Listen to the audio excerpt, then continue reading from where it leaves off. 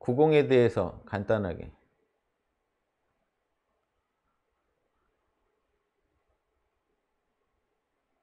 구공이요? 예. 구공은 이제 우리 안에 양심이 있다는 거잖아요. 우리 안에 양심이다. 예? 몰라 하면서 들으세요. 여러분, 몰라, 몰라. 늘 참나와 함께하면 답이 나온다고 했잖아요.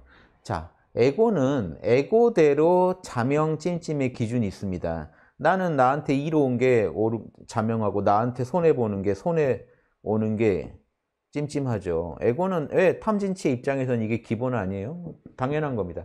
이건 받아들이자고요. 이건 받아들이고. 자, 그런데 참나는 어떨까요? 우리가 이제 참나의 현존에 만족할 수 있다면 참나가 또렷이 또렷이 우리 마음 안에 등장해 있는 그 상태에서 우리 에고를 쓰면요. 자 보세요. 에고가 51% 이상 이기면 나한테 이로운 건 좋다고 그러고 손해도 보는 건 찜찜하다고 할 거예요. 근데 참나가 만약에 51% 이상이 참나의 힘이 참나가 주는 이 평안이 내 안에서 더 힘을 발휘한다면 그때는요. 우리는 자찜에 대한 다른 기준을 갖게 됩니다. 그거를 조사해 보니까 이건 거예요. 조사해 보니까 사랑, 보시, 정의 상대방한테 내가 상대방이랑 바랄 걸 해줄 때 자명하다고 하더라는 거예요. 내가 이거는 깨어서 살아가 보시는 중에 아는 거예요. 그냥 머리로 하는 게 아니에요. 깨어서 살아가 보는 중에 내가 당해서 싫은 건 남한테 안 할 때 자명하다고 하지 그걸 어기면 찜찜하다고 하더라는 거예요. 진실을 내가 인욕, 진실을 내가 인욕, 수용하지 않을 때 수용하지 않을 때 찜찜하다고 하고 진실을 흔쾌히 수용할 때 내가 통제할 수 없는 거 흔쾌히 수용할 때 자명하더라고 하다고 하더라는 거예요. 그리고 내가 선을 양심에 맞는 걸 하려고 최선을 다할 때 성실, 최선을 다할 때 자명하지 나태할 때는 찜찜하더란 말이에요. 그리고 내가 예, 선정, 몰입, 내가 늘 이렇게 정신을 참나에 접속하고 있을 때 자명하다고 하고 참나 접속 안 하고 있으면 찜찜하더란 말이에요. 그리고 또 뭐 있죠? 예. 지금 막 섞였나요? 예, 정의. 아, 성실. 아, 여기, 여기가 몰입이네요. 지금 이, 이 기준으로는. 자, 이 부분은 지혜. 지혜는 뭐죠? 예. 참나 상태에서 보니까 자명한 거는 자명하다는 말이 나오고 찜찜한 건 찜찜하더라고요. 개념과 체험이 만나는 건 자명하고 개념과 체험이 안 만나는 건 찜찜하더란 말이에요. 요게 탐진치에서는요. 개념과 체험이 안 만나도 나한테 유리하면 맞는 걸로 하고 예, 나한테 불리하면 맞는 말도 아니라고 우겼는데 예수님이 말씀하셨잖아요. 성경에서 이해할 건 이해하고 아니오할 건 아니오라고 해라. 나머지는 다 악에서 나온 소리다. 어, 그딱 그거예요. 이해할 거 이해하고 아니오할 거 아니오할 때 자명하더란 말이에요. 요게 지금 우리 참나가 참나가 근본적으로 에고의 입장에서 보면 텅 빈 공의 세계인데 공의 세계인데 그 공 안에 이렇게 선명하게 여섯 가지 진리의 기준을 갖고 있더라는 거예요. 그게 가출구자를 써가지고 구공입니다. 한문으로 어렵게 표현하면 가출구자 써서 구공. 구, 육바라미를 갖춘 공, 진리를 갖춘 공, 온갖 선을 갖춘 공, 그냥 텅 빈 공이 아니라 지혜와 자비를 갖춘 공이더라 이거예요. 이 예. 부분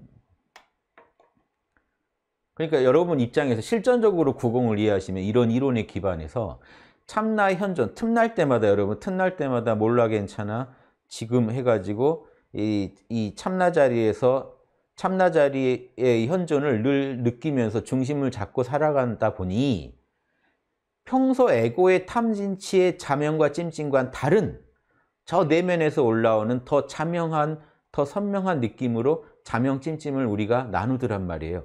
그거를 처음에는 그게 잘 못 느껴지는데요. 참나랑 오래 지내다 보면 이게 참나가 자명하다고 하는 게 있고 참나가 찜찜하다고 하는 거. 내 에고의 판단과 별개로. 여러분도 이미 느끼잖아요. 여러분이 아무리 어, 여러분이 나, 이 육바람일 어긋난 짓 해놓고 아무리 나한테 이로우니까 자명한 일이야 라고 우겨도 양심의 가책 올라오죠. 양심의 가책이 참나의 육바람일의 작동입니다. 그러니까 양심의 가책 안 일어나게 살아가시는 게 자명한 거고 양심의 가책을 느끼시는 게 찜찜인 거예요. 참나랑 함께 오래 살다 보면 양심의 가책이 오는 일들은 하기 힘들어집니다. 양심이 좋다고 하는 일은 할 때마다 더 뿌듯해집니다. 그게 구공 공부예요. 그 짓을 오래 하다 보면 어느 게 가장 더 자명하고 완벽한 자명을 찾지 마시고 내 역량에서 더 자명하고 덜 찜찜한 일을 꾸준히 찾아가시는 거. 그래서 지금 찜찜해도 괜찮아요. 지금 괜찮아요. 지금 찜찜해도 1초 뒤에는 1분 뒤에는 내가 더 자명한 생각, 더 덜 찜찜한 생각 하고 있으면 되는 거예요. 더 자명한 곳에 가 있으면 되는 거예요.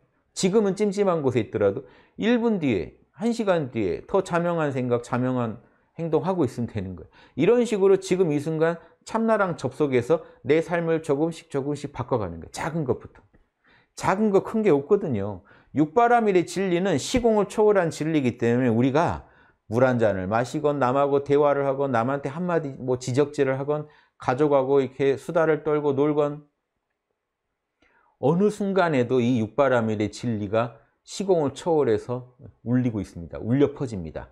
자명하게 살아라. 육바라밀을 구현하라. 이게 너의 지상 과제다 하고 인류 모두의 마음 안에 이게 울리고 있어요. 그러니까 지금 다 양심의 가치감 다 알아들으시잖아요. 근데 이걸 더 선명하게 알아들으려면 참나각성을 해야 된다. 따라서 아공, 복공을 중시하는 수행자들은 저희가 소승 수행자라고 부른 이유가 소승 수행자들은 양심의 가책을 느끼는 것보다 구공공부보다 뭘 집중해요? 참나의 현존에서 만족하고 평안 느끼는 것을 더 좋아합니다. 그 상태에서 공부가 완성됐다고 생각해요. 저희는 어떻게 했어요? 양심의 가책을 더 선명히 느끼려고 아공, 복공 공부를 하는 거예요. 참나랑 만나는 거예요. 참나랑 만나는 이유가 뭐라고요? 견성을 하는 이유가 육바람일 더 잘하려고 양심 더 잘하려고요.